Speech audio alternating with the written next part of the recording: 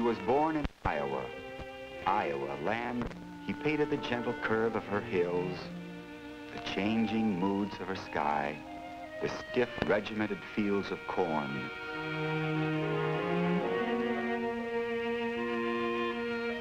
He traveled the new roads of Iowa looking for work. He mowed lawns, painted houses, milked cows, did all sorts of odd jobs. And in the evenings, when his day's work was done, he taught himself to draw.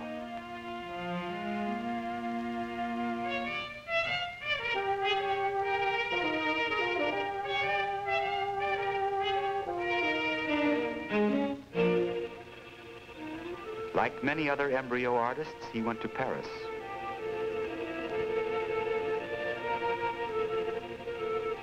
He grew a spectacular crop of pink whiskers and tried to adapt himself to the prevailing impressionistic school.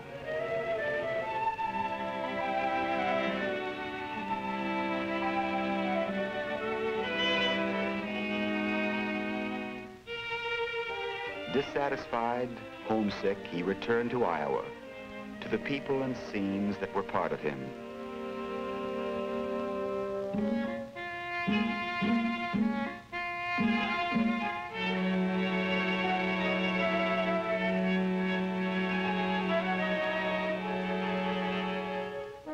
He painted a Cedar Rapids undertaker who befriended him.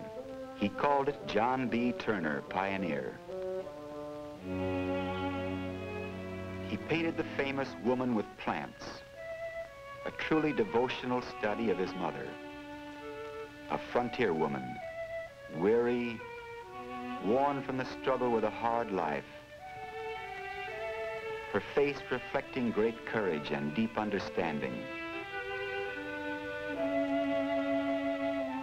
When his painting American Gothic appeared at the Chicago Art Institute annual exhibit in 1930, it caused a sensation and Grant attained fame overnight. He had transformed his sister and his dentist into hard-working Corn Belt farmers. American Gothic eloquently brought out Wood's unusual style. The shape of the pitchfork repeated in the farmer's overalls, the pattern of the apron reflecting the pattern in the window curtain.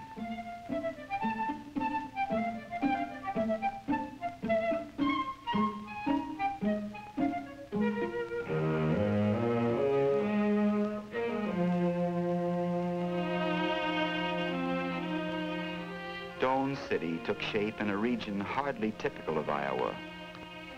A ghost town, it was once a quarrying center and Wood's painting of it was a forerunner of a series of bouncing landscapes that are synonymous with his name. One of these famous landscapes was the birthplace of Herbert Hoover. Grant had given it his exaggerated styling and had tailored it to his taste. So much so that the yarn goes that the neighboring farmer looking at the picture said, yep, that's the place all right. And we sure want to thank you for cutting them weeds. In painting trees, he allowed his imagination to run wild. But the fanciful trees in so many of his pictures were not entirely his own invention.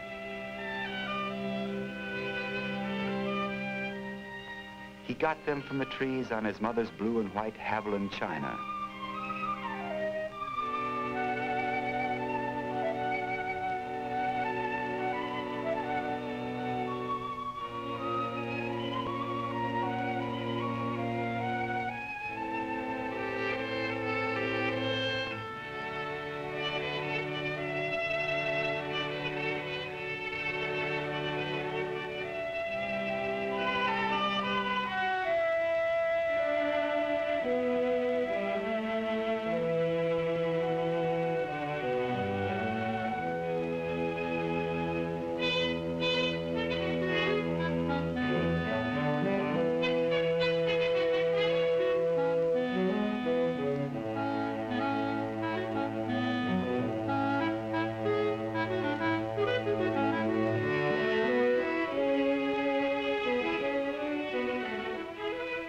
His simple, orderly, fresh landscapes told so well the story of the Iowan scene.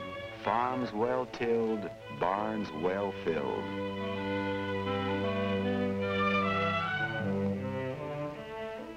Chickens fascinated Grant Wood from childhood. They were almost human to him.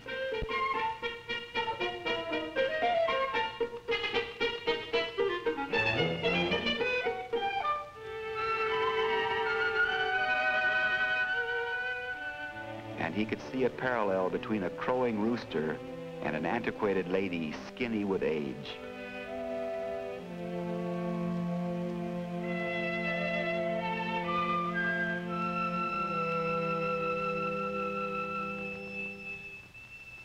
Grant Wood's pictures would make a rare farm calendar. January, February, and March, April, May, and June, July, August, and September, October,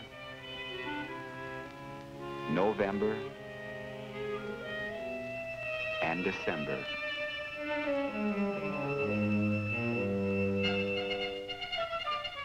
Grant Wood turned to delightful fantasy in the midnight ride of Paul Revere.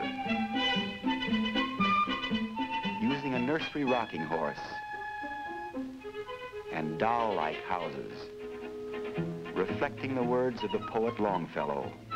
Listen, my children, and you shall hear of the midnight ride of Paul Revere.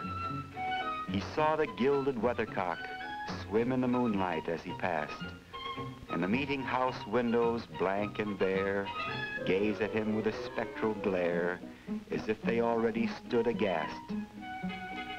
A hurry of hoofs in a village street, a shape in the moonlight, a bulk in the dark, and beneath from the pebbles in passing a spark, struck out by a steed flying fearless and fleet.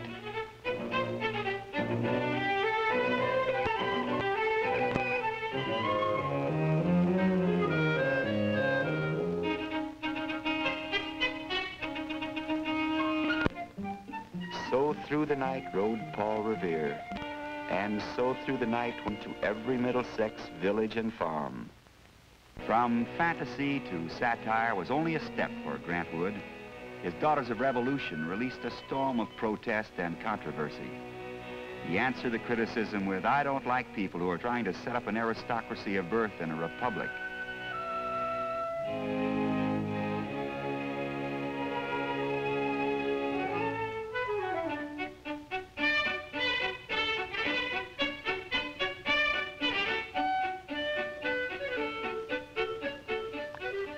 He went from fantasy and satire to fable when he created the canvas Parson Weems' Fable.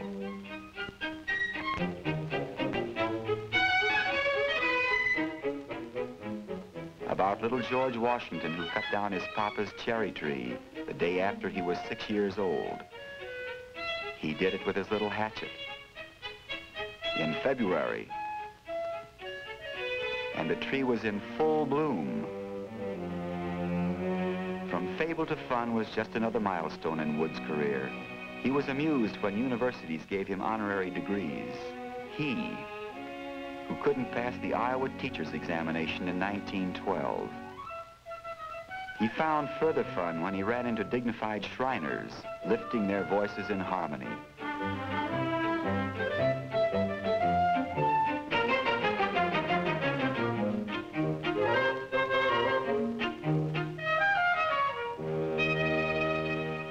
And the painting he made in Hollywood, Sentimental Ballad, was so real, it looked like a scene from a movie.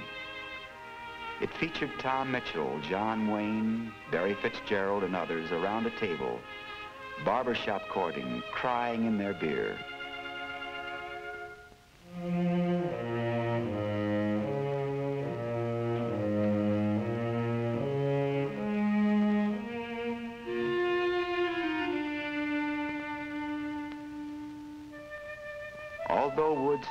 From time to time, he always returned to his first love.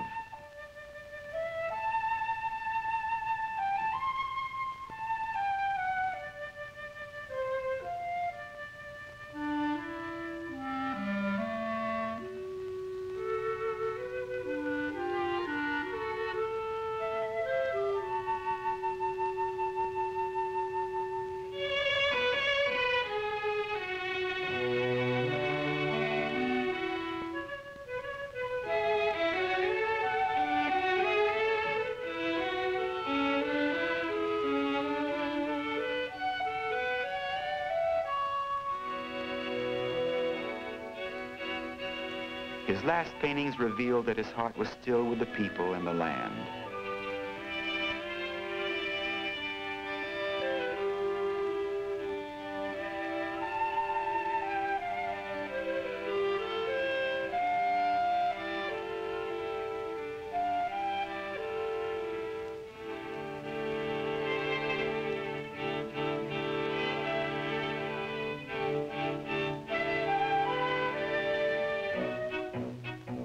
Always he was simple and honest as in his masterpiece of Americana, Dinner for Threshers, an annual event on American farms in the old days. When men from far and near came with their horses, wagons, and hay racks to help you haul your stocks of grain from the fields, to thresh out the chaff, to store your grain away,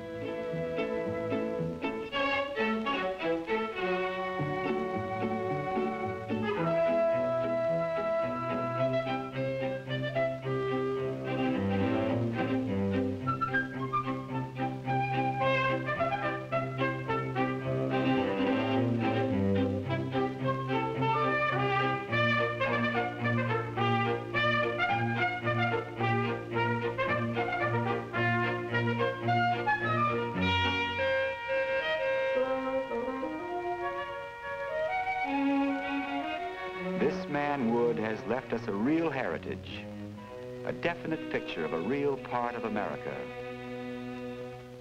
Symbolized by his own words, I had in mind the picture of a country rich in the arts of peace, homely, lovable, and infinitely worth any sacrifice.